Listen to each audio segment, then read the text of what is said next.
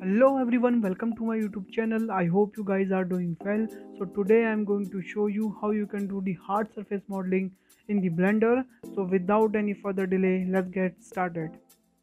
So first i will open my blender and here i will delete everything. Press a delete everything. And after that i will add one cylinder. And i will add the vertices 64 and after that I will go to the edit mode. And I will select face. And I will select both face and delete it. Then after that I will add the loop cut tool. And here I add 16 loops. And after that I will exit the edit mode. And I will switch the wireframe mode.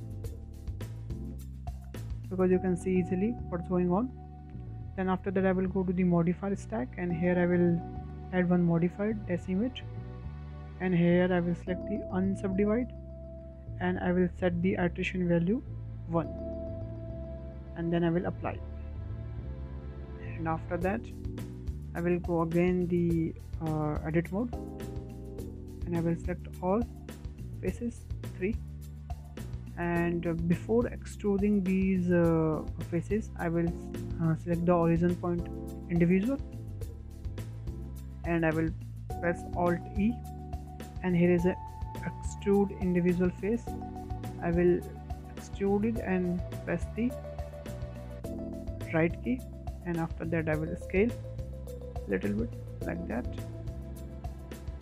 Then after that I will extrude again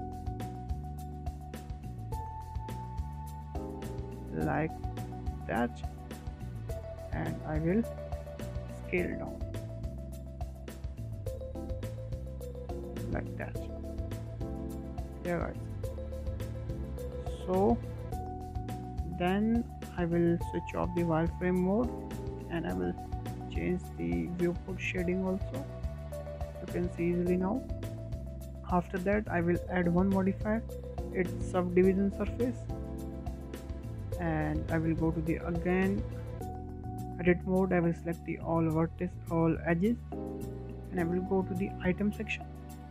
And here is the mean crease I will set 1 yeah that's cool.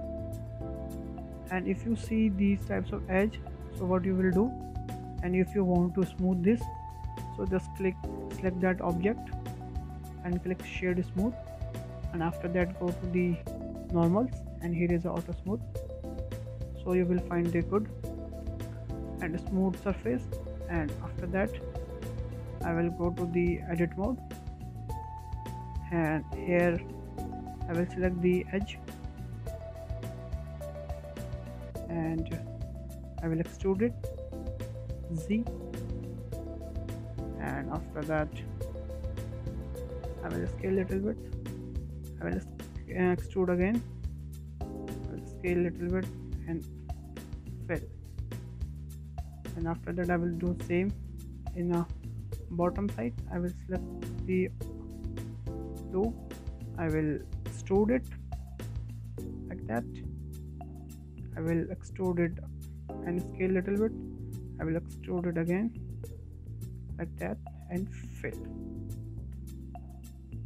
Yeah guys so now you can see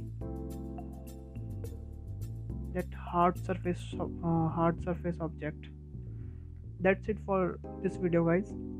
And uh, hit the like button hit the subscribe button. And uh, if you have any queries if you have any suggestions please let me know in the comment comment box. Because i always love to read your comments. Thank you. Bye bye